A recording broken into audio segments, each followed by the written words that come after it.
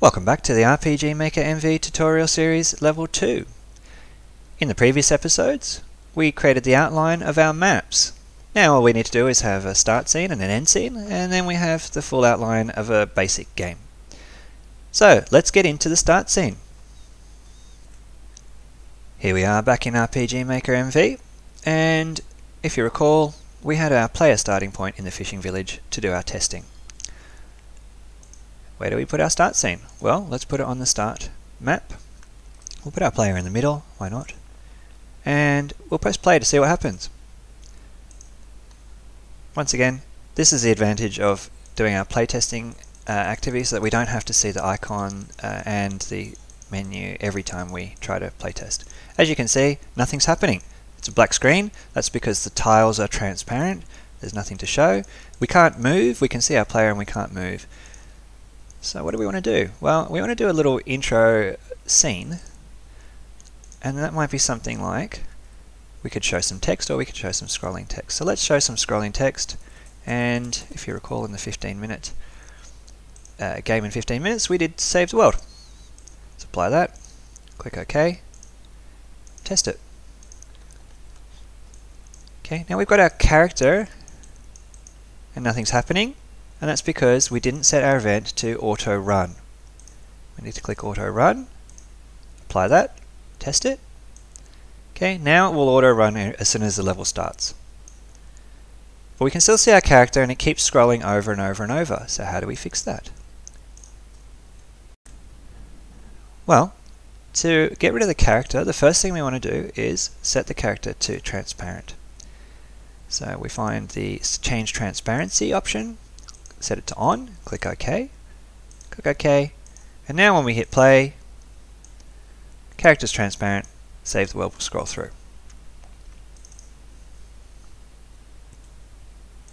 While we're here, let's update the name of our event. We'll call it Start Game. And now we want to do something like asking the character what their name is. So let's show some text what's your name?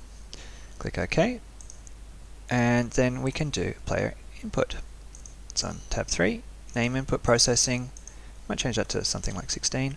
And you can select this for any actor, which is any of the members of your party. And in this case, Harold is our default first uh, a default hero character. We'll play test this really quickly just to see where we're at now. So we go save the world, then it says what's your name. You can enter, I believe we decided on Hardy or Harady in this case. Why not? And then it's going to keep repeating that. So, to get out of the loop, let's transfer the player to another map. Pressing enter to bring up another option. Transfer player, and we'll go to the fishing village down the bottom at the pier just off the boat. Fantastic. We're moving up because we've just come off a boat. And here we are. Let's click play.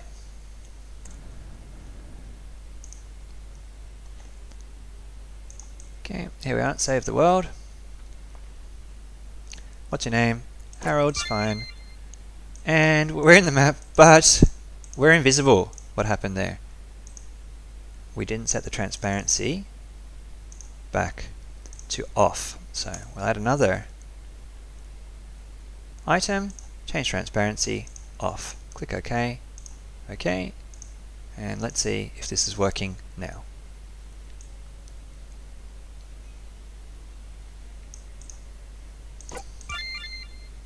And here we are.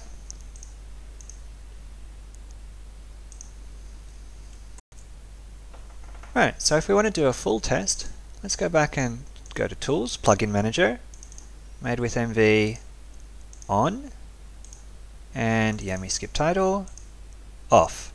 Uh, if you don't have Yami Skip Title, you should go back and watch the previous episode as it shows you how to get, get it.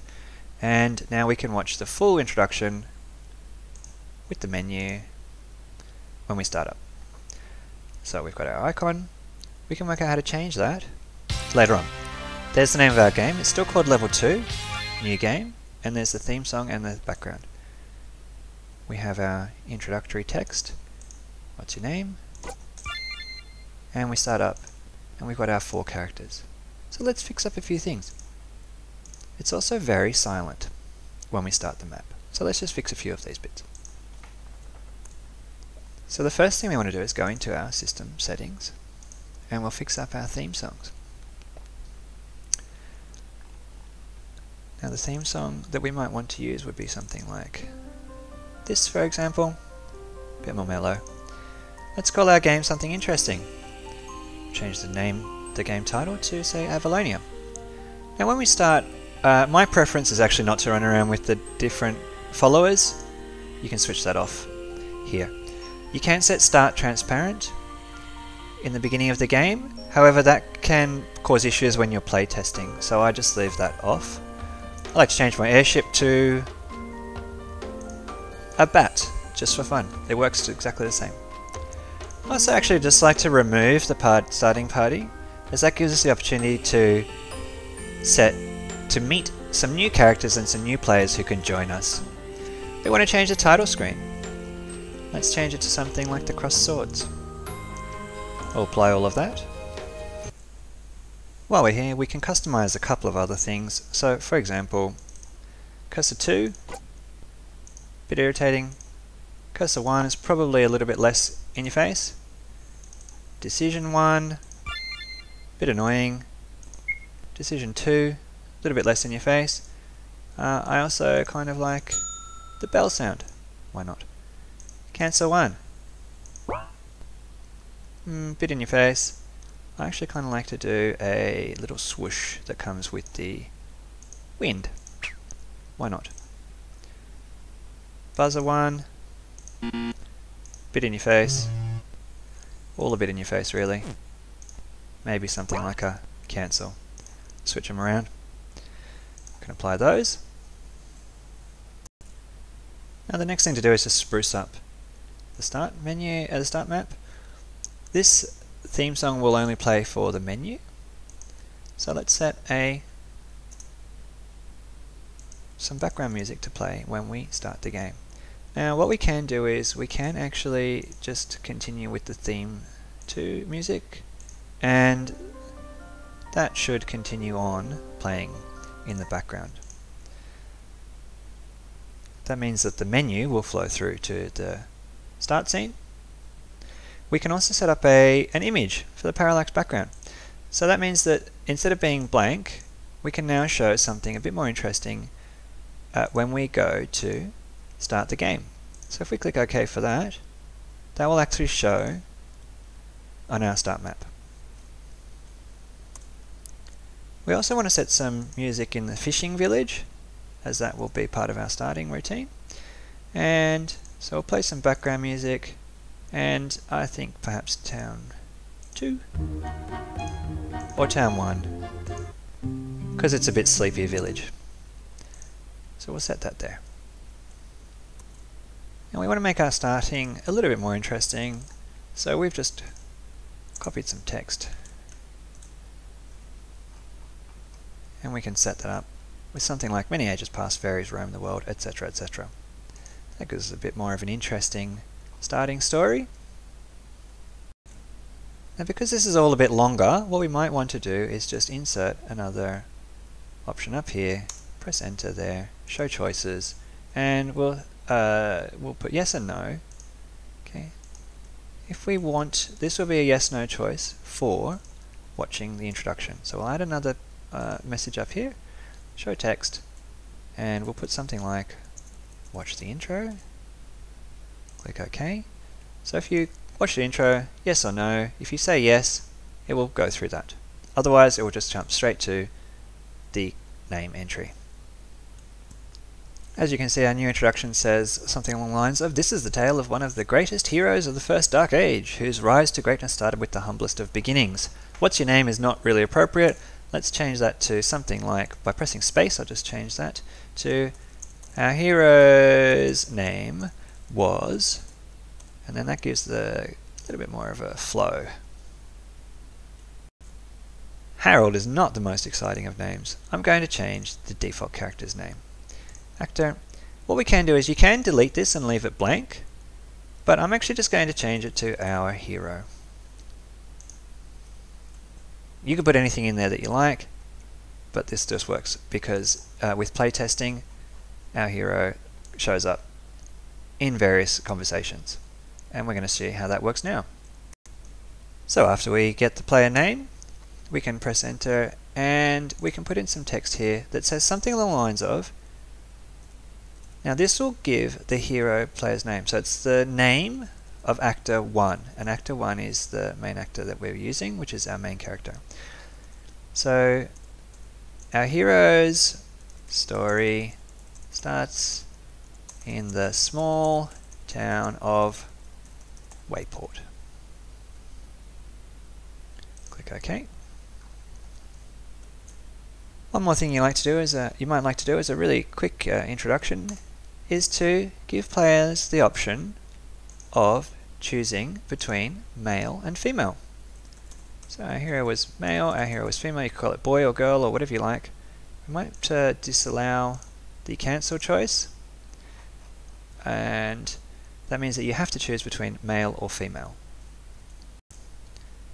Sticking with the same kind of theme of our hero's name was, we can actually put this in here, copy paste, press space, and we could put slash and ones was, and that would be, so now our hero was male, female, and when we do that, we can now choose the image for the character. So, simply press enter to get a new control, go to tab 3, and change actor images. We can see our hero, and now we can choose various actors. We want to make sure that we get one that has a battler, just in case we want to use them later on. So for example, we might choose actor 2, 1. So that is actor 2, number 1. And that means that we have to choose the character sheet for actor 2, number 1. Okay, so that's our new male character. Same thing again.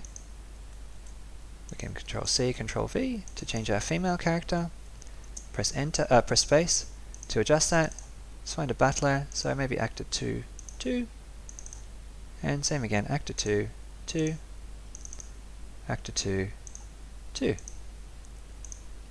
And there we have a new uh, gender selection and that gives us the option to choose our character. So let's test what we've done. Click OK and play. We're going to go through this one more time. And here we go, we have our new background, we've got our new name, new game, we've got our new sound, Watch the intro. Yes, we want to watch the intro. Wow, this is such a great introduction. Who came up with this? What a genius. And our hero's name was. And now we can right click, we've got a new sound there. Okay. Cool. Might need to change that acceptance sound, it's a bit excessive was female. And there we are. There's one more thing is that we might actually want to change the order of the gender selection, but we can hear our sounds in the background, and now we're running around the map, and we now have a new character image.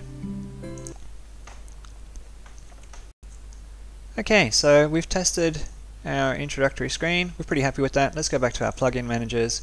We'll switch off the icon and we'll switch Yami skip title on so that we can do rapid playtesting again. So when we went into our game, we noticed that we skipped the intro. Our hero's name was, and we already have an image here. And if you decided to have a female hero or a male hero, the image would be different, so that's going to be a little bit incongruous. There's a couple of ways that we can solve that.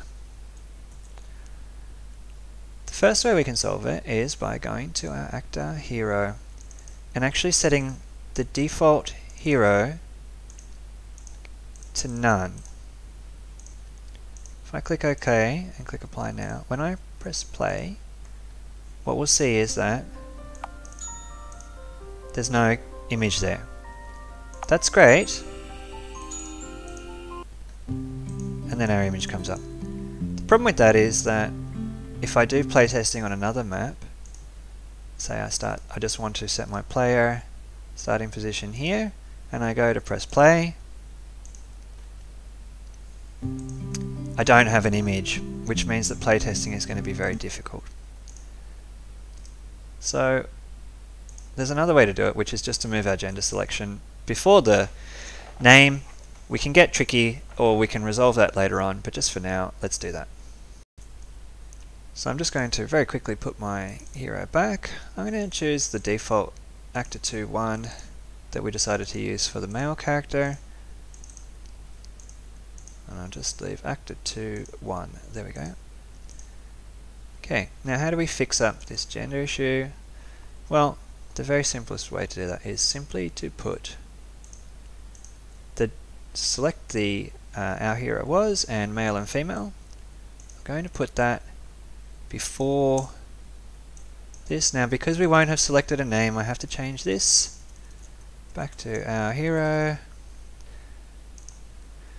Our hero was male female. We'll choose the image and then we can now say our hero's name was, and then we can choose our name and continue on from there. So what that will look like is this. Skip the intro. Our hero was female, and there we go. Now we can show the correct image for our female character when we start. Cool.